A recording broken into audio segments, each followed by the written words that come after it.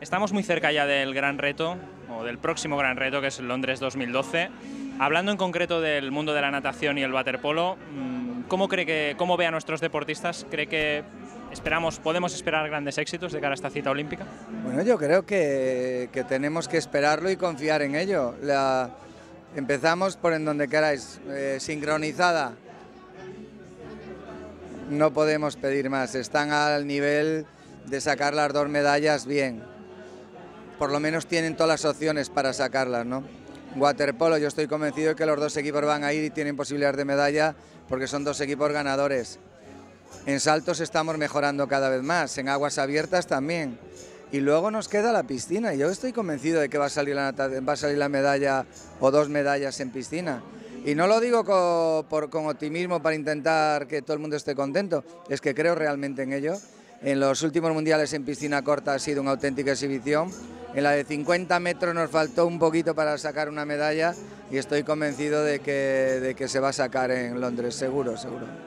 Estamos en una época difícil a nivel económico, se habla de recortes en planado y demás. Eh, ¿Cómo cree que puedes superar o cómo cree que debes enfocar este nuevo periodo el, el mundo del olimpismo, el mundo del deporte en España? Bueno, yo creo que estamos en una situación, es una situación económica difícil todos, en todos los países, ¿no? En general. Y eso afecta a todos los estamentos de la sociedad. Entonces, mi opinión, la que estoy diciendo a todo el mundo y que ya se le expresa al gobierno, es que necesitamos una ley de mecenazgo. Es decir, nosotros no podemos mantener el nivel del deporte que tenemos ahora si no hay ayudas.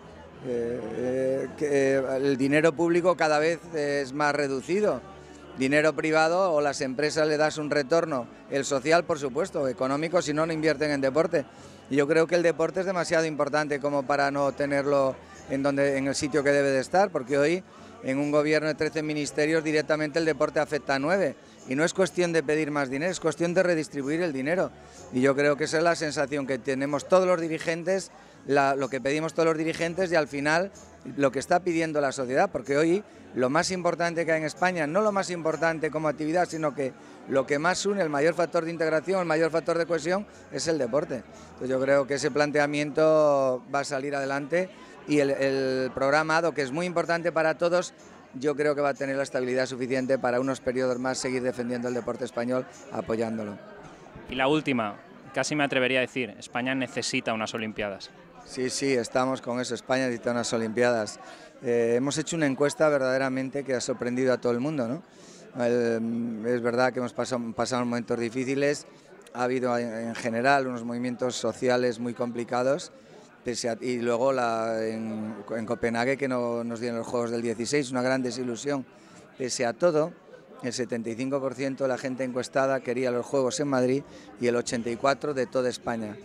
La mayor, el índice más alto era los menores de 25 años y el 90% consideraba que los Juegos serán un gran motor del impulso de la recuperación económica de España. Nosotros necesitamos los Juegos económicamente, socialmente y sobre todo que, para mi opinión, el mayor problema que tiene nuestro país es ese 48% de jóvenes de menores de 25 años que no tienen un trabajo en este momento. Ellos son los que más apoyan los Juegos.